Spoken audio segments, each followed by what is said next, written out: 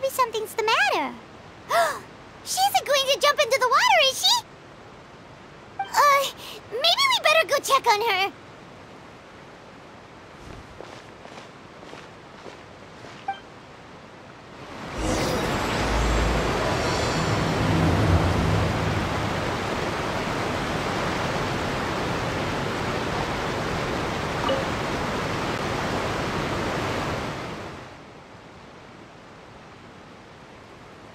Uh, hello there. Excuse me.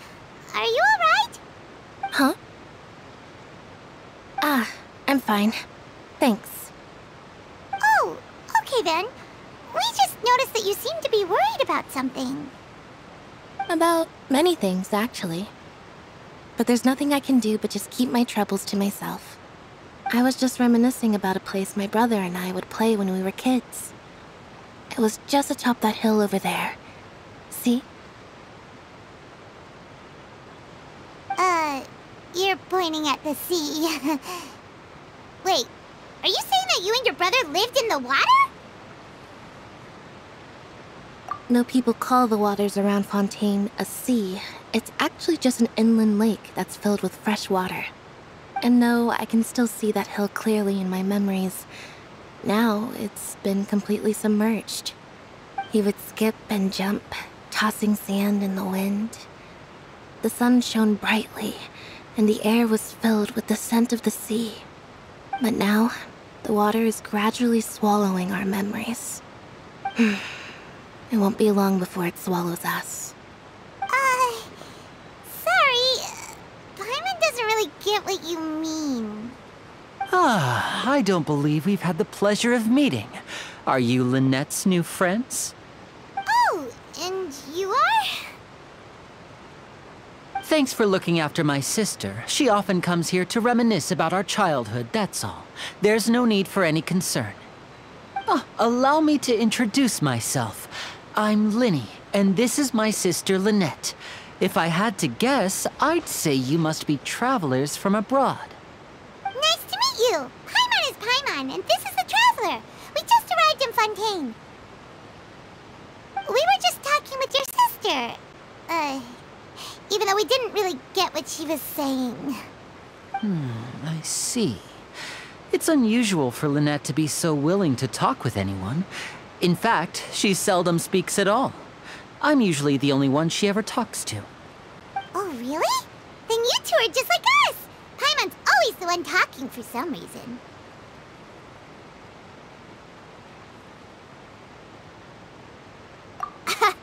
so that's how you think? I also think my brother can be too talkative at times.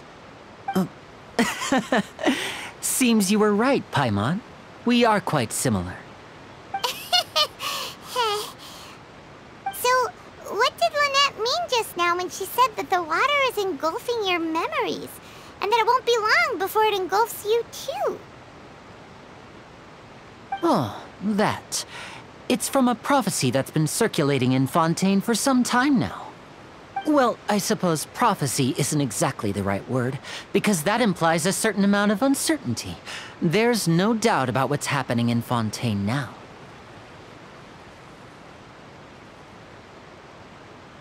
Where to begin? Hmm. Let's put that question on hold for a moment. We still haven't formally greeted each other yet, have we? Uh, did all the introductions earlier not count? Hello, traveler.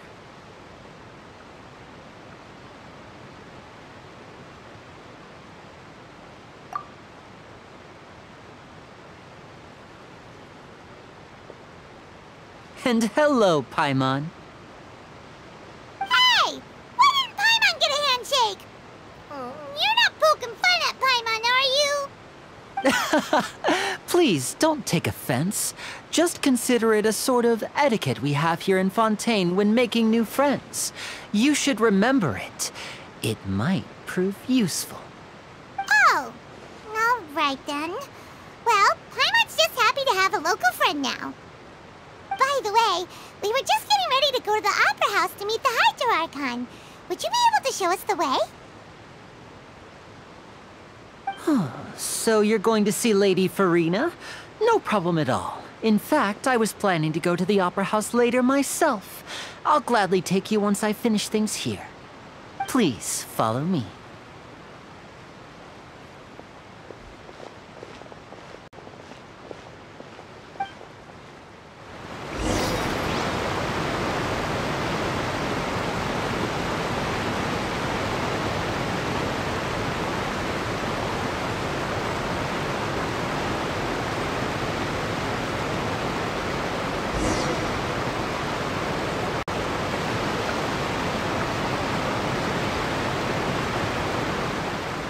Uh, you said you were going to see Lady Furina? Well, it seems Lady Furina has come to see you.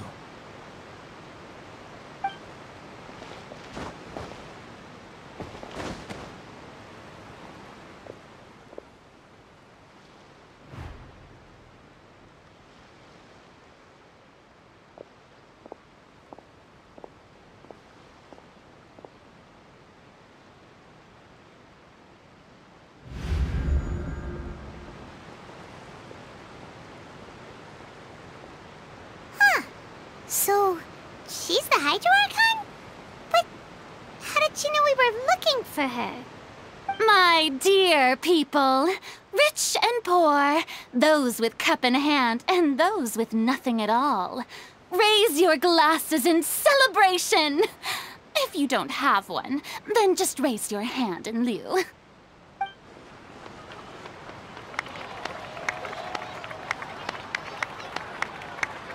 As you can all see, two unfamiliar travelers have arrived in our nation. Come, let us make a toast in honor of this traveler and his companion who have journeyed here from distant lands.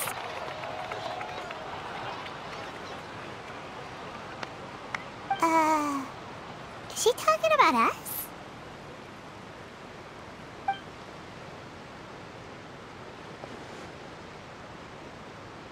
I've long heard of the turmoil and chaos you've left in your wake as you visited other nations. But I welcome you nevertheless. No, I have come to receive you personally. Fear is for insignificant cowards. I am a god, and I will never entertain the notion of such meaningless wariness. You can be rest assured, I see clearly your sincerity. Of course, seeking an audience with me is the most sensible thing to do.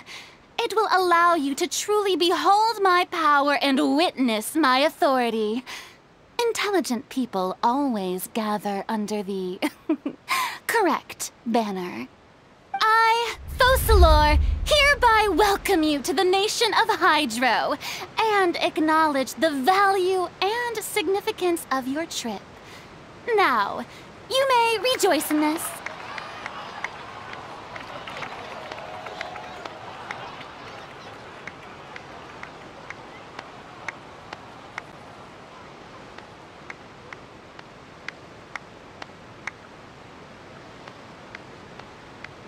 Yeah, Paimon still can't believe it. Feels like we've only been here for a few minutes. But the Hydro Archon's entrance was, should Paimon describe it? A little over the top? Uh, Miss Hydro Archon? How did you know we were coming? Ah, I see. As Outlanders, you inevitably lack even some of the most basic understanding. Don't forget that even the gods can be divided into the mediocre and the excellent. I suppose it's only natural for you to be awestruck by my abilities. You had best stop and consider. Do you really have the noble qualities and etiquette necessary to communicate with a god? All it takes is a flick of my finger for me to know everything about you. Whoa. Talk about sounding high and mighty. Oh? What's with these looks? Perhaps the welcoming ceremony still isn't enough? Hmm. What What else should I say then? Uh, is she waiting for us to start talking? Wow, I didn't expect to see Lady Furina here. What a surprise! Wait, does this mean they're the legendary blonde traveler? How did I not notice before? Hey, what's all the commotion? Oh, is that Lady Furina? Is there some kind of drama going on? Of course. That's the blonde traveler. The one all those stories are about. Lady Furina came here to personally see him. Oh, I bet this is gonna be the duel of the century. Ooh, I've got to see this. I knew Lady Farina would never disappoint.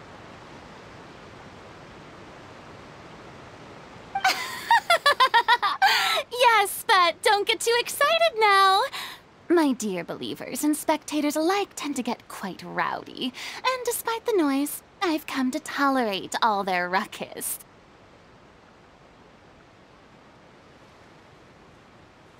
You may consider this my reward to all of you. I have determined that there will be an epic duel between myself and this traveler from another land, just as you were hoping to see. Uh, now she wants to fight? Aren't we getting a little ahead of ourselves?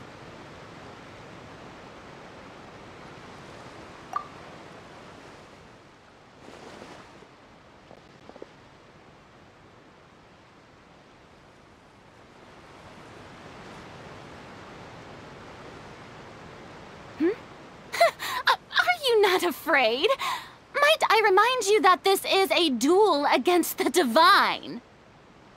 What are you trying to do, traveler? Provoking a god in front of her people? Ahem. Stand down, Clorinde. I admire his bravery. Few have the courage to draw their sword against a god. He is obviously a true warrior. Unfortunately, people nowadays only crave to be thrilled, and a mere duel will not slake their thirst for excitement. Huh. Yeah, she's right. Just a duel wouldn't be all that interesting. On Araneus, criminals are always requesting duels to defend their honor. They're getting a bit old, to tell the truth. You see. Then, as the god of justice, I shall face this traveler in another kind of duel. A duel in court! Whoa, all right! Now that'll be worth seeing! Right. This is Fontaine, after all. Such a grand opera house, it would be a pity not to use it. Why do you care so much about the crowd's reactions? Seems you've spent a little too much time in the opera house. Besides, how exactly do you plan to have a duel in court? You mean you're going to put us on trial? Oh, we have reason to put you on trial. It's obvious, isn't it? According to Fontaine law, no one is permitted to release any flying objects within Fontaine city limits during the first three days of each month. You are clearly guilty of violating this law, no? Oh, so that's what they've done wrong. Hmm, that's our Lady Furina. No one knows the laws of Fontaine like she does. You call that obvious? What kind of law is that? Wait, flying object? you mean Paimon? Precisely! Now, if you two have no objections, then in the name of the Hydro Archon, I order your arrest. My apologies, Lady Furina. I don't mean to spoil the fun. But if you would allow me to interject, I don't think that Paimon here meets the definition of a flying object. You tell her, Lyney! Finally someone who's not crazy. How could anyone call Paimon a flying object? Ah, great magician Lyney, my beloved citizen. I'll permit you to object, but how exactly do you plan to prove your claim? As a magician who just rained on your parade, I naturally should shoulder the responsibility of saving the show. So, with such an audience gathered here, allow me to perform a trick for everyone.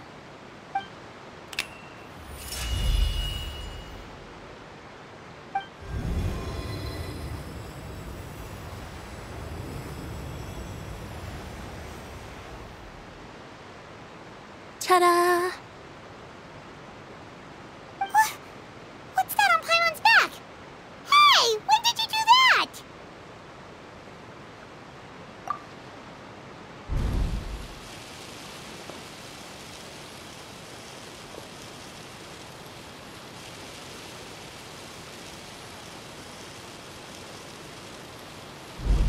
There. As you can all clearly see, Paimon should be classified as, well, something like a balloon. This rope has been in the Traveler's hand all along. It was just that no one could see it before. Huh? You call that magic? You've got to be joking. I thought it was pretty good. Nice one. Huh. I, I'm not sure what to think. It seems Lady Furina's charges no longer hold water.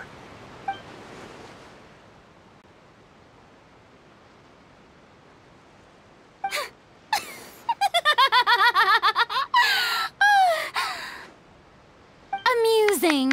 Very amusing, Lyney. Just the sort of unexpected twist that I enjoy. With you here, today's performance can finally be called complete. Performance? You see all this as a performance? In which case, consider the matter of your trial resolved. The god of justice will not bring charges against an innocent person. But when there are valid grounds, I will not only judge travelers from abroad, but even the gods of other lands. I look forward to seeing your upcoming performance at the Opera House, Mr. Lyney and Miss Lynette. That's enough for now. Toodaloo!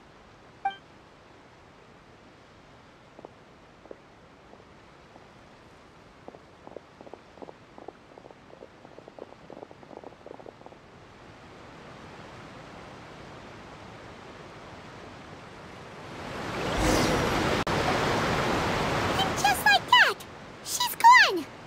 Well, that's the most unpredictable Paimon's ever seen. He never even had a chance to ask her anything. But that's a problem for future Paimon. That whole scene just now was really...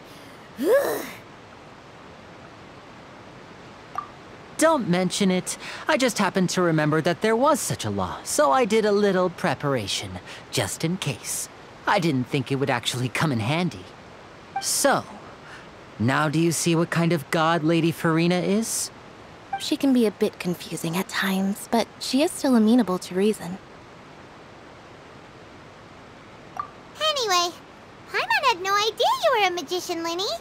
It sounded like you'll be performing at the Opera House, right? I just know a few simple tricks I use to make a living. Lynette is my assistant. It will actually be my first time performing on the most prestigious stage in Fontaine, the Opera House. Isn't the Opera House where criminal trials are held in Fontaine? When there are no public trials being held, the Opera House hosts a variety of other performances. To the people of Fontaine, the line between a trial and a performance can be a little blurred.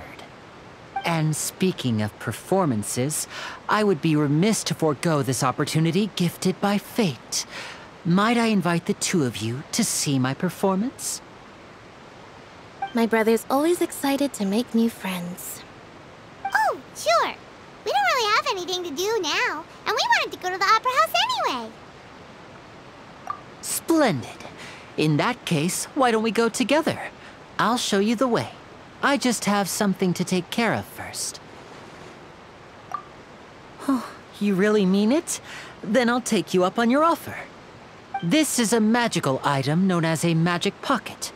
Perhaps you can help me distribute them to the people here. Huh? What are they going to use it for? About that... Hmm... You asked me before about the prophecy, right? Let me start by telling you a little more about what it entails. I'm not sure exactly when it began, but a prophecy has been circulating around Fontaine. It says that every person in Fontaine is born with sin. No matter how the nation of justice holds trial after trial, this sin cannot be absolved. Until one day, the water levels in Fontaine will rise, and the sinful people will slowly be drowned. In the end, the people will all be dissolved into the waters, and only the Hydro Archon will remain, weeping on her throne.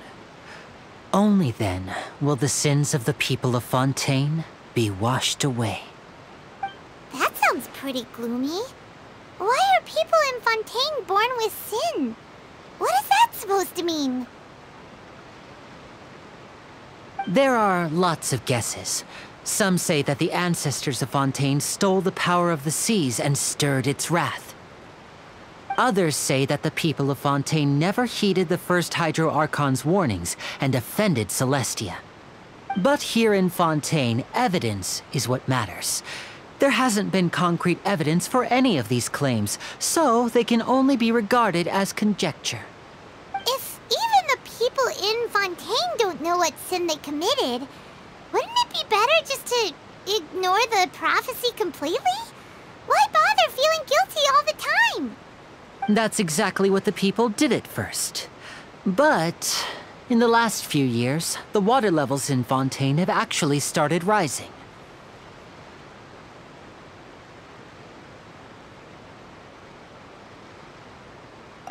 Hmm.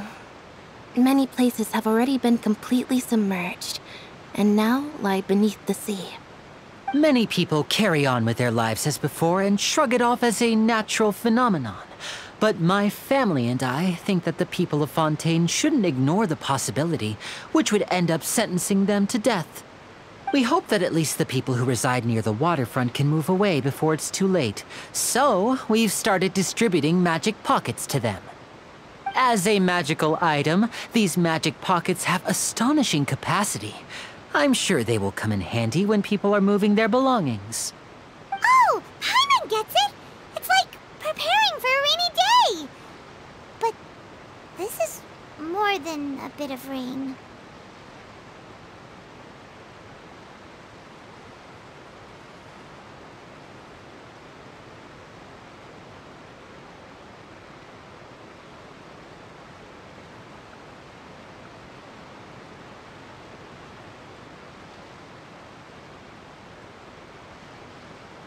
Hmm. Perhaps only absolute power could ever contend with such a catastrophe. but who knows? We're just tiny specks in the grand scheme of things. Now, if you'd like to help, then please give these magic pockets to anyone nearby. Be sure to convince them to take it, regardless of what they say.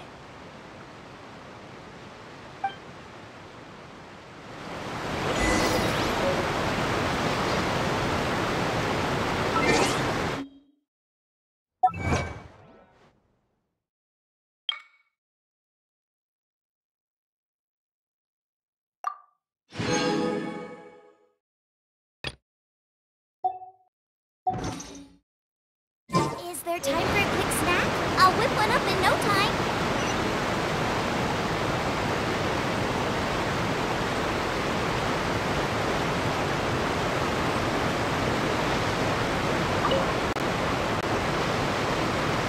So you're the blonde traveler that everyone's been talking about.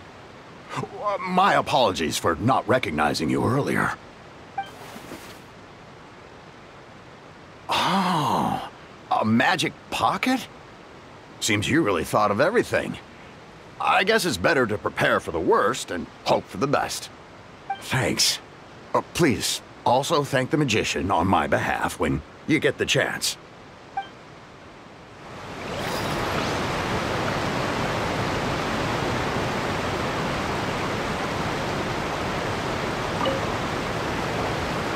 What's this? So you also believe in the prophecy. Keep it. I won't have any use for it. What? You mean you don't believe in the prophecy? No, no, I believe in the prophecy. But I also believe in another story. The story says that people once lived in the ocean. They were one with the ocean and couldn't live apart from it. But as time wore on, people desired to live on land and developed blood vessels, encapsulating the sea within their bodies. Thus could people set foot on land. So, if you ask me, when the water rises and takes us all, it'll be like we're going home. Oh, we hadn't heard that one before. But people can't live underwater. They'll die. You should probably still take it. all right, I'll take it. I guess I just feel that being dissolved into the water doesn't necessarily mean death.